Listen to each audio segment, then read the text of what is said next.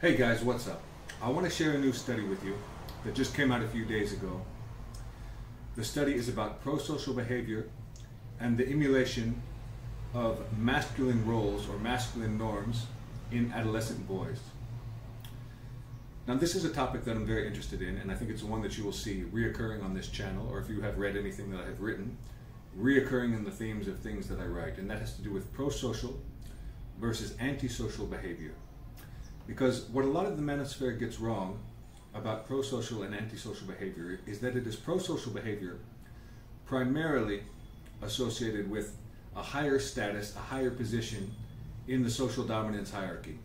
This is true both for human beings in the modern era, as well as human beings, say, 2,000 years ago, and as well as hunter gatherers or human prehistory. So rather than focusing on and glorifying antisocial behavior, what people should really be focusing on if they want to improve their own dominance and their own success in life, particularly with relationships, but also with everything else, is essentially pro-social behavior, cultivating being what is essentially a productive member of society who contributes, who provides for those around him, his in-group, his wife, his girlfriend, and so on. Here's a study on that or I should say, a study kind of related to that, that I think a lot of you will find interesting anyway. The title of this study is Too Hunky to Help A Person Centered Approach to Masculinity and Pro Social Behavior Beliefs Among Adolescent Boys. Just a quick overview of this study. We're looking at a sample size of 260 young boys. The age between 11 and 13, so a pretty small age range. We're looking at essentially early pubescent and prepubescent adolescent boys. This is a convenient sample from schools in the southwest of the United States. Let's have a look at some of the conclusions and the findings of this study first, and then we can go over specifically what those things mean and how they may apply both to the development of masculinity in adolescent boys and also perhaps to your own lives out there as well. So the first important finding in this study is that masculine norm adherence. We're going to say masculine norm adherence, and we're going to come back to what that means. We're going to look at the measures specifically. But this predicts lower prosocial behavior in boys. So typically not a good thing. And the correlation here is a 0.34, so we're looking at what is essentially a medium-sized negative correlation in psychology. The second main finding here is that prosocial behavior predicts social competence in adolescent boys. And again, we see a medium correlation here at 0.43, a positive correlation. And finally, 50% of the boys in this study, they fell into a category dubbed socially precarious. And this is boys that have low social competence, but that have a lot of pressure to emulate masculine roles. So I said masculine norm adherence, and this is going to be the first measure in this study. And anytime we look at research on dating, on anything in psychology, if you read the abstract, if you just read the title, you might see something like that, and it might mean something or sound like something to you that is very, very different from what it actually measures. So the important thing, anytime you read psychological research, is that you look at the specific psych- psychometrics used, and you see what exactly they're measuring. What are the questions being asked? What are those items? So let's look at that right now. When the researchers say masculine norm adherence, masculine norms, masculine norm roles, what exactly are they referring to? Well, in the case of this study, it looks like what we're referring to specifically is the Adolescent Masculinity Ideology in Relationships Scale. And this is a series of 12 questions that they adapted for adolescent boys. Let's go through these now, and then you can have an idea of what specifically is being measured some of these items, perhaps you will think they are bad things. Some, maybe you think they will think they are good things or that they're dependent on the context where you can have an opinion and let's see what they are. So the first question here, it says, it's important for a guy to act like nothing is wrong, even when something is bothering him.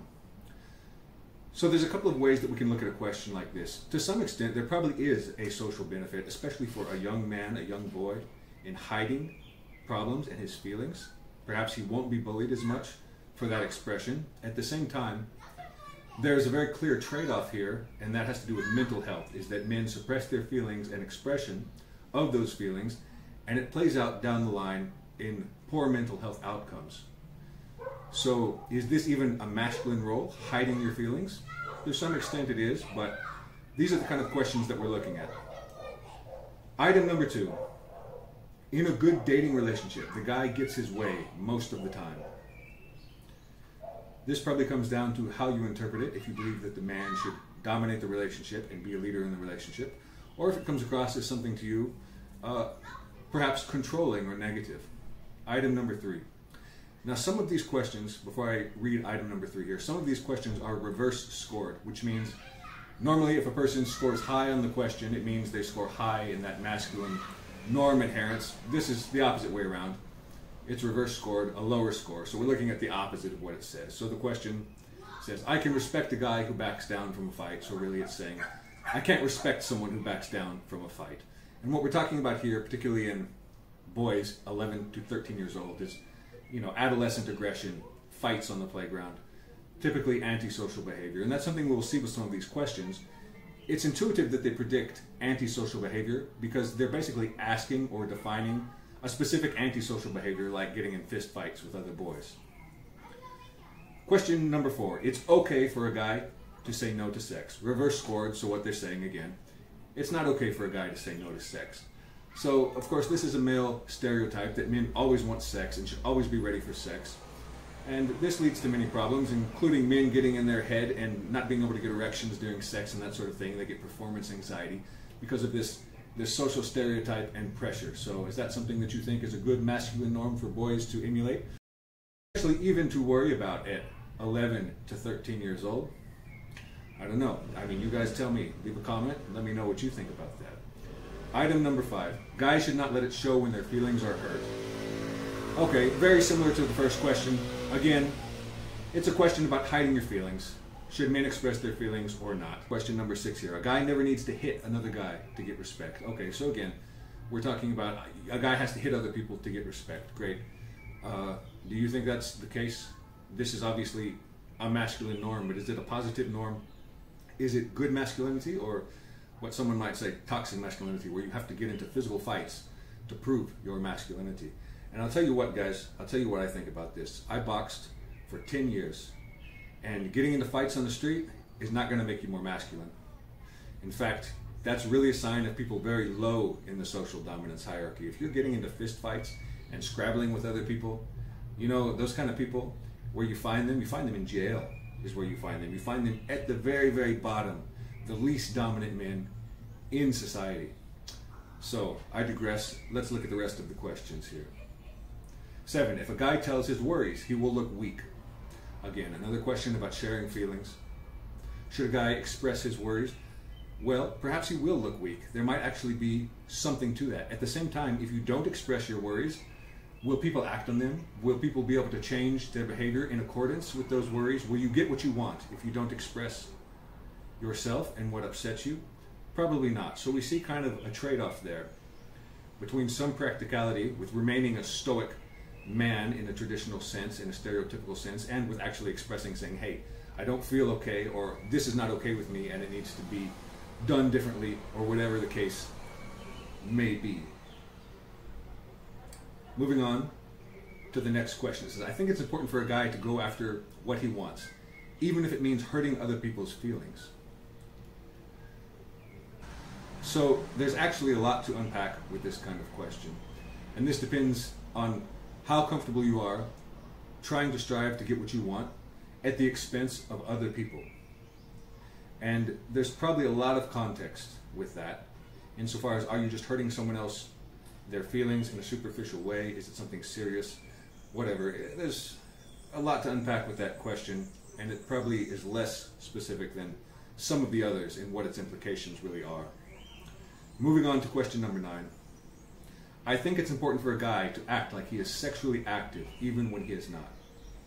And I mean, this is something that you will see in the manosphere, in red pill spaces, in the PUA, pickup artist type spaces, they will tell men who are not very successful sexually to pretend like they are. They will tell them, ah, spin plates or date multiple people. Women will see you with one woman and they'll think you're more attractive because of pre selection, that sort of thing. And the fact of the matter is, most of these men are just not very successful with women. They're not spinning plates. They don't have a bunch of different girlfriends. But that image is important for them for their dating strategy. Not even necessarily because it actually helps them get more women as individuals, but because it helps them sell that image to the people buying their programs. But that's what we're looking at here. And ultimately, with that kind of question, what we're looking at as well is a behavior that is fundamentally dishonest. So you're going to say that you're having sex with a lot of women when you're not? Okay, it's a lie. What more can be said about that? It's, it's an image that's cultivated that is dishonest and untruthful. Let's just look at the next question. It says, I would be friends with a guy who is gay. This is reverse scored, so of course it's saying, I would not be friends with a guy who is gay. Now, this is basically just a, a single question test of homophobia. Are you okay with hanging out with gay men or not? I don't know if much more needs to be said about that question. Looking at question 11, it says, It's embarrassing for a guy to ask for help. This is another one of those questions that comes down to expressing feelings and how masculine it is to ask for help as opposed to just keeping it inside. And perhaps, to some extent, it's true. It is embarrassing for a man to ask for help. Many men will feel that way. Uh, at the same time, if you don't ask for help, you will never get what you want.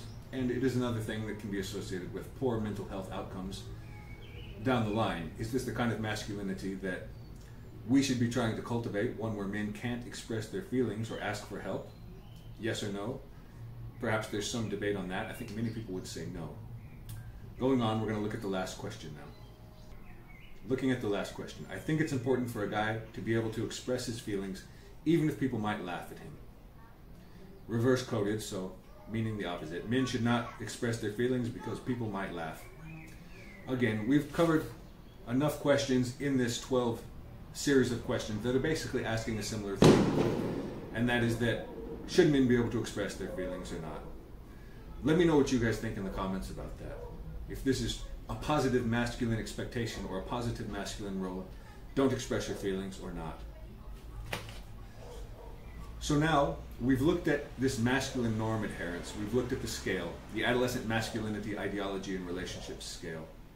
The other big variable that we're looking at here is pro-social behavior. Because remember, these questions, this scale, negatively predicted pro-social behavior in adolescence. So when we look at pro-social behavior, again, we have to look at the psychometric device, the questions, the test being administered. What is pro-social behavior to these researchers? What are they measuring? And in this case, what we're looking at is a pro-social behavior scale. And here are the items in that scale. Item number one, or question number one, and this is applied to boys as far as their interactions with other boys. So when it says, I think that girls, boys, just read it as I think that boys, because it's being applied to boys as far as their interactions with other young boys. But, question number one, I think that boys should provide physical assistance, for example, when someone falls down. Now I wonder, does anyone disagree with that? Would you say that this is a unmasculine behavior? I think most people would say that this is a traditionally masculine and pro-social behavior. Strong person helping a weak person, a strong boy helping his friend who has fallen down, who is presumably weaker or at least has fallen for whatever reason. He's weaker at that very moment. So, strong person helping his comrade in that moment. Item number two I think that boys should be willing to hang out. For example, going to a friend's house when you don't really want to. So here we're looking at a question that is examining sociability, really, not necessarily pro-social behavior, perhaps as, as a proxy, but not directly. Should you go hang out at other people's houses when you don't want to? I mean, sounds pretty ambiguous to me. I'm not going to tell you that this is uh, by itself a strong indicator of pro-social behavior or not, or or that it's masculine or that it's not. I would think perhaps it's even better to be able to say no if you don't really want to do something. That that might be the more masculine option, but to give you an example, this is what is being measured as pro-social behavior. Item number three. I think that boys should stand up for others. For example, when someone is making fun of someone else in the class. And what we're looking at here is basically saying, again, masculine behavior, standing up against bullies, and pro social behavior. I think this is the kind of masculinity that many fathers would like to teach and idealize in their sons at that age, 11 to 13. Item number four I think that boys should comfort their friends, for example, when they are upset. So, is this a specifically masculine behavior? Probably not. It's probably something maybe that you would see even better in women being able to comfort their friends. But it is a pro social behavior, and it isn't an anti masculine behavior. It shows strong social competence, so it's not a surprise that pro social behavior in this scale also predicted social competence for these boys. Item number five.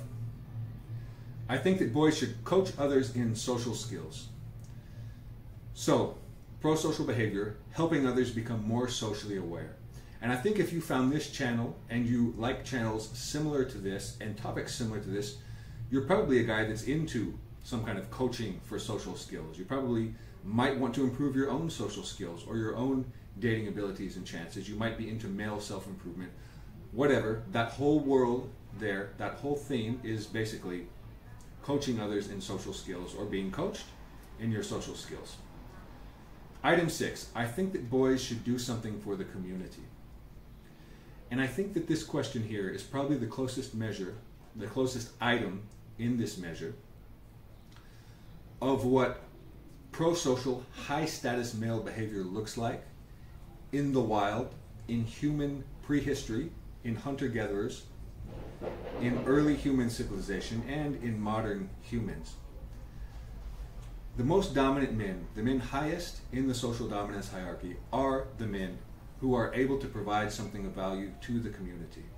These would have been men who perhaps were physically strong, able to protect the tribe, who can hunt well and collect resources and provide for the tribe. Maybe they can build. Maybe they have talents to construct things that help everyone in the group and on an interpersonal level in relationships. These are men who take care of their wives, they take care of their girlfriends.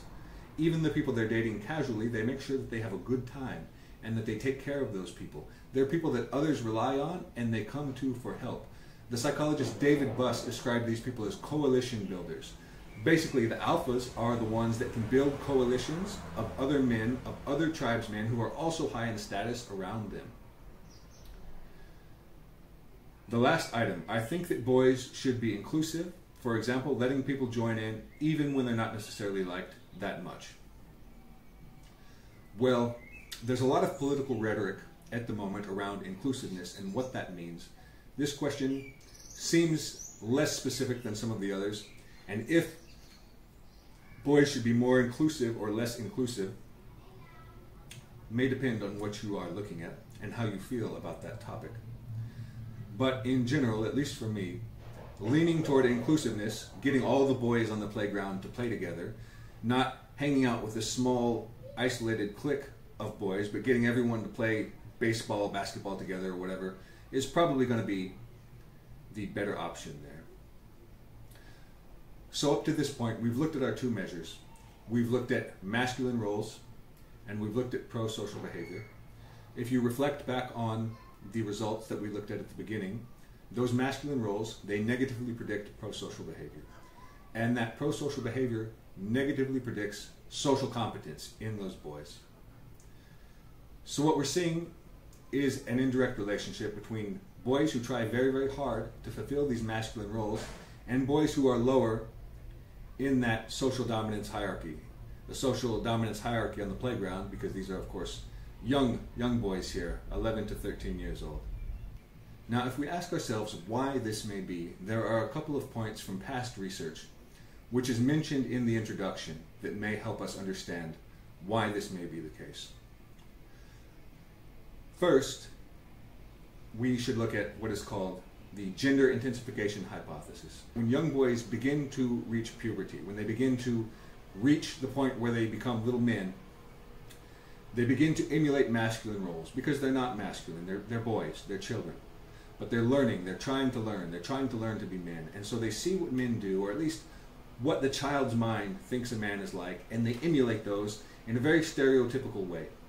So they see men, for example, on TV fighting, so they're getting in fights with their friends on the playground. It is a very ham fisted kind of emulation of actual men by children. Additionally, and I'll put up another quotation from the introduction here.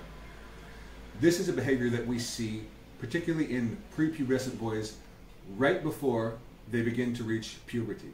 When the boys are a little bit older, as teens, as early teens, they swap. They say, ah, masculine roles are now less important. Now we're going to focus on that pro social behavior.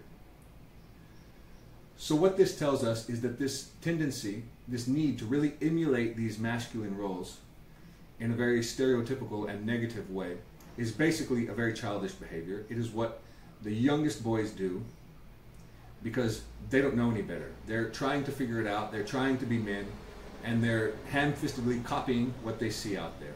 As soon as they begin to hit puberty, as soon as they get actual testosterone in their bodies, which many people think of as an aggression hormone, and indeed it has individual effects on aggression, but it's also a hormone that acts as a neurotransmitter and it has very, very important effects for pro-social behavior in groups and especially for pair bonding and pro-social behavior in romantic relationships.